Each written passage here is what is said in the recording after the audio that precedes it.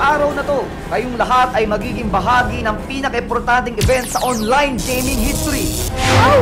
Ayun na yung tournament! May kita na ng mundo kung paano tayo kalupit! Ano ba't pinag-aaksayahan mo ng panahon yung game na yan? Magpa-araw ka naman. Maglaro ka sa labas. Eh, hindi naman ako magaling maglaro ng basketball eh. Bakit parang totoong totoo lahat to sa'yo? Ikaw ba naman? Kung isang bagay lang ang alam mong gawin ng tama, hindi gagalingan mo na, di ba?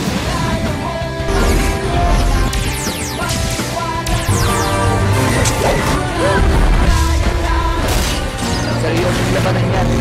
Makakalaban nyo ang pinakamagagaling na players ng buong mundo.